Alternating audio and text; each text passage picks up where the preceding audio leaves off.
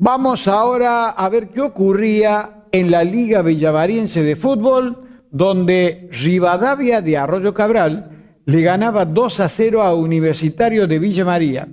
Eh, por lo tanto, el partido anterior le había ganado Universitario. Hay tercer partido, pero acá hay un problemita también. Eh, no se sabe todavía, no tenemos, ¿no es cierto?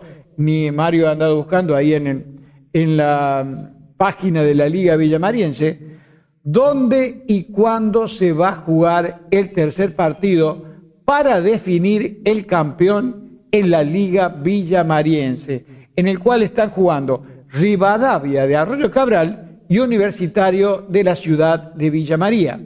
Le vuelvo a repetir, hubo algún problemita, como viene sucediendo, realmente se ha hecho ya medio carne eso de, de haber algún desmane en los partidos, no se ha definido cuándo ni dónde se va a estar jugando el partido final, que sería el tercero, para saber quién va a ser el ganador, el ganador del campeonato clausura de la Liga Villamariense de Fútbol. Esperemos que la semana que viene tengamos noticia y podamos estar anunciando, ¿no es cierto?, cómo, cómo, qué es lo que ha resuelto la Liga de Villa María.